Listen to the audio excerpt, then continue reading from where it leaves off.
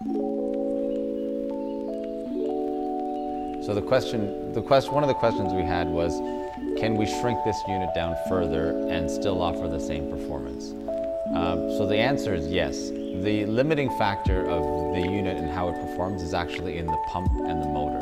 In this design, it's a fully encased unit, so you can't see the pump and motor, but it's built pretty tight to the motor and the pump already.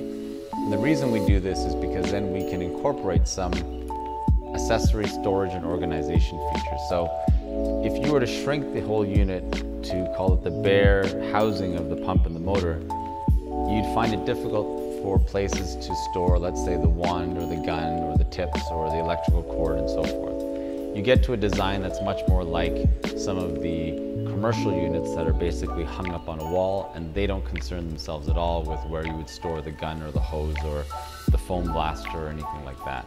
So it really becomes a design decision because this unit here was really designed as an all-in-one unit for convenience and for the user that just wants to use their pressure washer occasionally, put all the accessories back and store it on a shelf in their garage.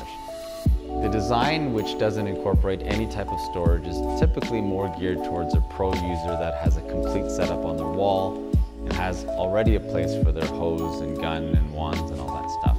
So it is possible. And actually where this design breaks from a lot of other pressure washers is we intentionally put the most powerful motor and pump in as small as package as possible. I think a lot of other manufacturers, what they've done over the years is, I'm not saying they're trying to trick consumers, but they basically put the same motor and pump and put bigger and bigger plastic housings or metal frames and so forth to give consumers the impression of more power, when in reality the pump and the motor are really the same.